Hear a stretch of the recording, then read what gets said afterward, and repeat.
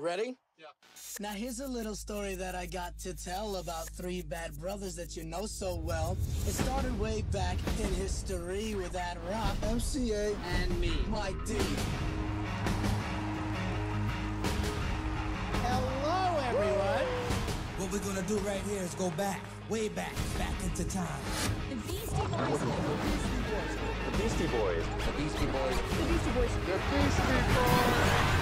In the early 80s, everyone in our scene was in a band. We wanted to be rappers so bad, but we were mediocre at best. Now hit it, hot, just don't stop. Most rappers hold their rhymes in little pieces of paper, right?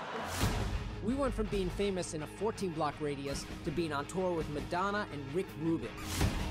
The shows kept getting bigger and bigger. We morphed from making fun of Party Bros to actually becoming those dudes. We were burning out. I just didn't even recognize the person that I had become at that point. Yo, hold up. It's not over yet. Go! There's not that many times in your life when you realize you're in a new chapter.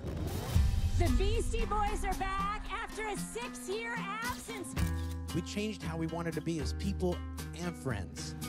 We got inspired, and while experimenting, we found our voice. Really? High five? Yeah, yeah, it's coming back, Adam. It's coming back. Adam Yauch was the driving force. The one that not only gets themselves going and doing great things, but says we should all do this.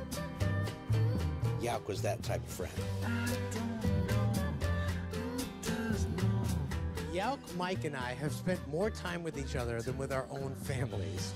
It's not like all of it was easy or highlight filled, but who gets to work every day with their two best friends? Uh,